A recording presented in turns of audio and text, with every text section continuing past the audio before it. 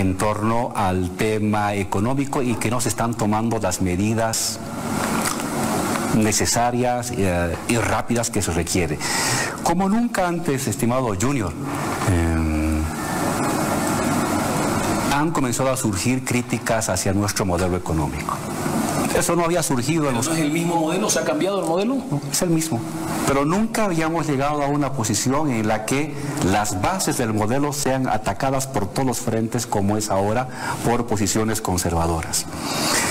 Y eso tiene que ver con la lentitud con la que se están tomando ciertas eh, medidas. Y, lo que yo reclamaría a, los compañeros que acompañan a Luis en la gestión económica es de que no basta hacer políticas económicas, eso lo hace un administrador, un contador. Hay que hacer también economía política.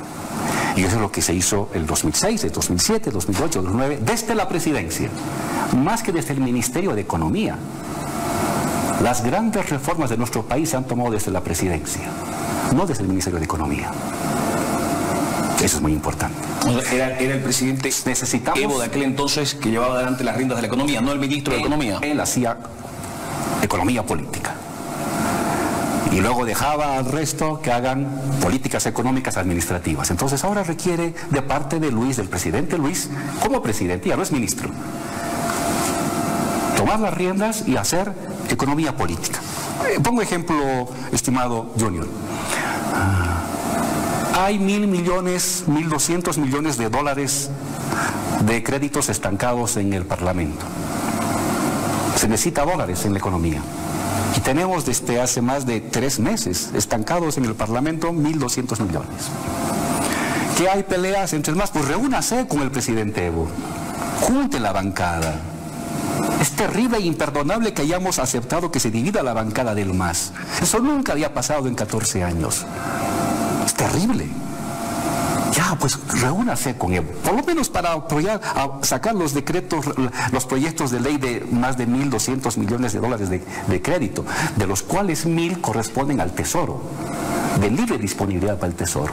Este año, estos meses, estas semanas. Entonces tengo que juntarme, tengo que juntar a la bancada, ponerme de acuerdo. Es un tema que si no lo hago va a erosionar la credibilidad en el modelo económico, que nunca había sido erosionado como ahora. Todo por falta de economía política. ¿Qué es economía política? Tomar decisiones políticas, hacer acuerdos políticos, ver la economía como una acción también de la política. La segunda cosa, la ley del oro. ¿Por qué es tan importante aprobar la ley del oro? Para que el Estado compre con bolivianos oro. Y ese oro comprado con bolivianos, con un plus para el comerciante, para el cooperativista, sin quitarle nada al cooperativista, ni un solo centavo, sin quitarle nada, sin aumentarle un solo, un solo punto el impuesto. No necesitas aumentar un solo punto el impuesto.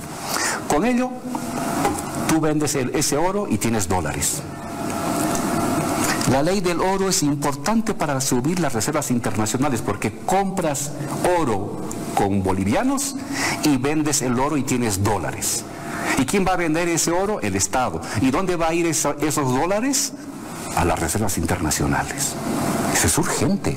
Hemos exportado 3 mil millones de dólares el año 2022, 2.500 el 2021. Ya van 5.500